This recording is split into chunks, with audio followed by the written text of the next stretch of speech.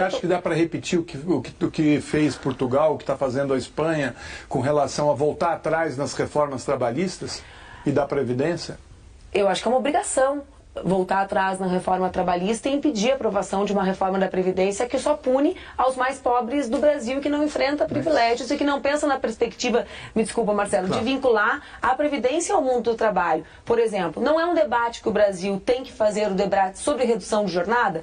Quando nós formos debater a Previdência, depois de fazermos uma auditoria e termos claro o tamanho do déficit e o tamanho da sonegação, porque se eu perguntar para você, se eu perguntar para Dilma e para o Lula, para o Temer, para o Henrique Meirelles, o tamanho do déficit cada um diz um número, né, sobre o uhum. déficit de previdência. Então, depois de feita uma auditoria de déficit e de sonegação, não é o caso de se debater junto o tempo de contribuição com diminuição de jornada ao longo da vida inteira. Então, é preciso pensar na revogação da reforma trabalhista, eu defendo que seja feita a partir de um referendo, mas mais do que isso, né? É preciso pensar no mundo do trabalho no Brasil e, para mim, uma medida de, imediata a ser tomada é a redução da jornada.